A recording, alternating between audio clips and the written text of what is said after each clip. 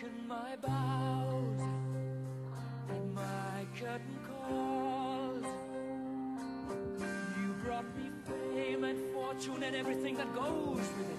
I thank you all, but it's been no bed of roses, no pleasure cruise. I consider it a challenge.